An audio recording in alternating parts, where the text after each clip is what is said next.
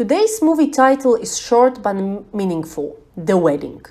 This movie is a bitter, which means not so pleasant, satire on modern village or more specifically on people who live there. For Bride's father, a wedding reception, which the plot revolves around, is an excuse to show off his high social standing. But is really so high? You can probably guess that the more person boasts about something, the less we can believe it. So the viewers have a chance to watch crooked negotiations, embarrassing bargains, and deals depending on local connections. There is no big love between the newlyweds. Every downed bottle makes the guests more and more loud and strange, but definitely less conscious. Intoxication reaches its peak when the guests sing Oath, a poem by Maria Konopnicka, which served as a protest song during the Prussian partition. The lyrics is as follows We won't abandon the land with our kin. We won't let our native tongue be buried. Polish people we are, Polish folk. We are of the royal Piast clan. We won't let the enemy Germanize us. So help us God.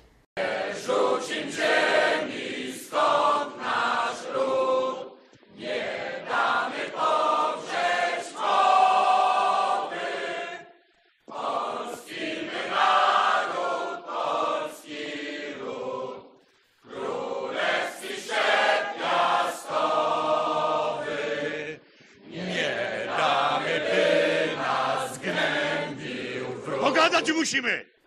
Co o pieniądzach? Nie bój się, pan nie stracisz! Chodzi o grunty dziadka! Speaking of oath, I believe I should introduce you to the poetess. She was a Polish positivist writer of both novels and short stories, a literary critic and a translator.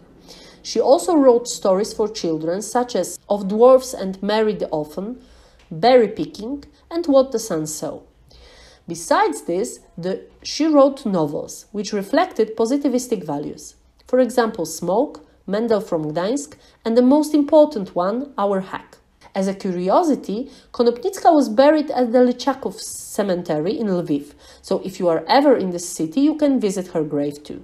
In Suwałki, when she was born, you can also visit a tourist road called Dwarfs Exists. Krasnoludki są na świecie which features exterior figurines of 10 dwarfs from the story of Dwarfs and the the Orphan. But let's discuss the movie.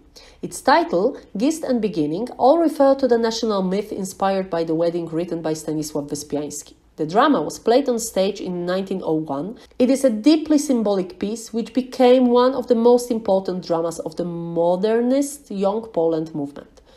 The most well known symbols are Kapszew dance, which reflects Polish people malaise and sorrow, and the golden horn, which symbolizes a chance to regain independence.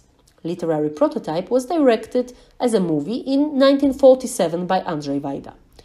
I will tell you something about Wojciech Smarzowski, the director of the, of the movie. The recognized director and screenwriter was awarded at the Polish Film Festival in Gdynia and he received Paszport Polityki, Polityka's Passport, in the film category in 2004.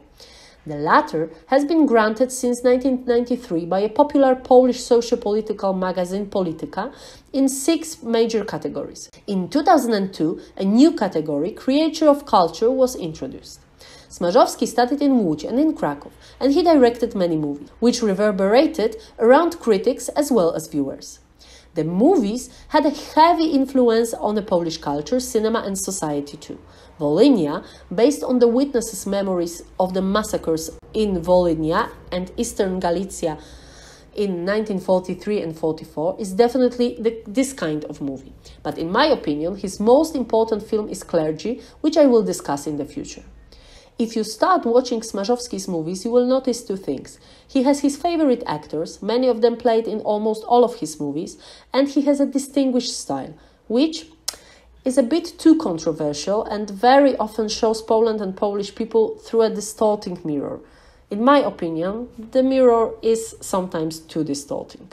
Despite this, today I decided to recommend The Wedding to you. I am wondering if you will like the movie and if you will see in it, just like I did, a particular kind of universality. Because in the end, we all are the same, no matter where we live. Enjoy the wedding and talk to you soon.